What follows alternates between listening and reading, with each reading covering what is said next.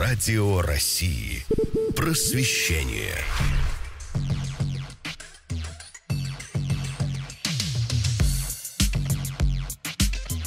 Радиодок. Как почти через 80 лет после Великой Победы нацизм снова стал орудием политической игры, попробуем разобраться сегодня. В студии Анна Дворецкого и Анатолий Круглов.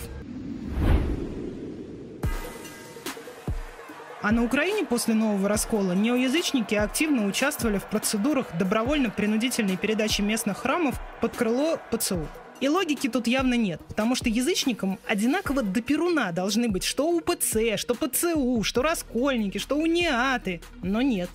Церкви Московского патриархата вызывают какую-то особенную ненависть, чем-то явно подогреваемую. Видимо, местная толерантность распространяется только на конфессии и нации выгодных политических партнеров.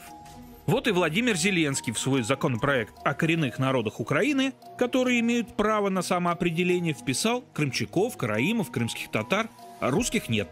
Предшественники Зеленского вообще пытались отдать Крым под управление запрещенного в России Меджлиса крымско-татарского народа, который полностью был сферой влияния турецких властей и через который Анкара могла влиять на Киев – Весной 2016 в интернете всплыли фото служебных записок от руководителей крымского главка СБУ, по которым выходило, что Меджлис за 4 года получил через турецкое агентство по сотрудничеству и координации больше миллиона долларов, взамен собирая информацию для турецких спецслужб и лоббируя нужные Анкаре решения.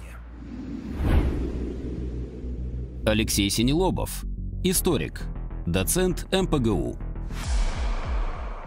мы сейчас во многом наблюдаем последствия событий 1991 года, когда после распада Советского Союза в бывших республиках, в соседних странах тут же пышно стали расцветать свои национализмы.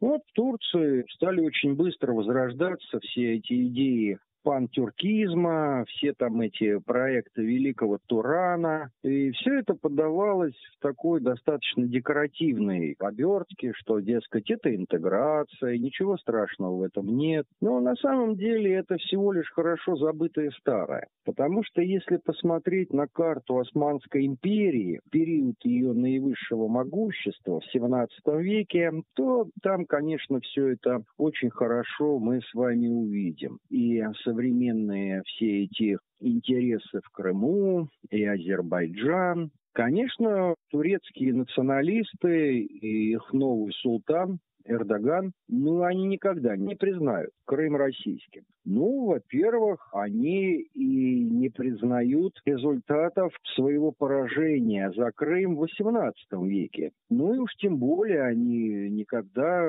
не признают возвращение Крыма в состав России. И поэтому Стамбул, он заигрывает с киевским режимом, он это делал в последние годы постоянно. Разумеется, что до украинцев-то им нет никакого дела. И цель-то заключалась в другом, чтобы через украинскую власть продавить и создать на полуострове крымско-татарскую автономию, да, то есть, по сути дела, восстановить существовавшее когда-то несколько столетий крымское ханство, которое было в вассальной зависимости от османов. Поэтому то, что касается Крыма, очевидно, Стамбул не собирается признавать Крым российским, и это является таким основным как бы заявкой на воплощение всех этих националистических громких затей, планов, которые выдвигает вот этот вот современный султан Эрдоган. Радио России. Просвещение.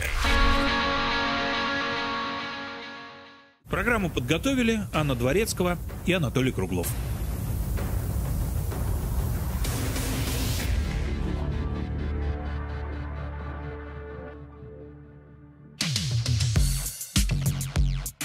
Радиодок.